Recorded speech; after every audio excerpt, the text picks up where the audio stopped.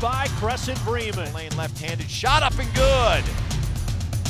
Matthews fakes the shot. Oh, look at that.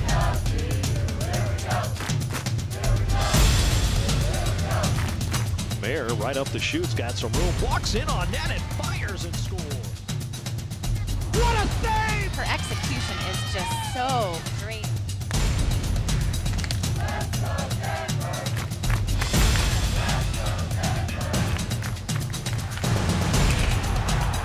Chase Hallam got around the defense, drives and lays it up and in.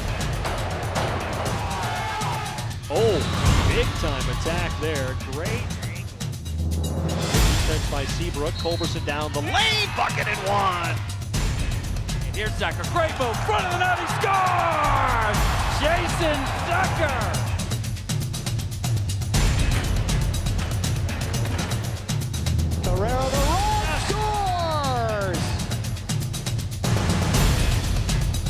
Herself, takes it to the rim, lays it up and in.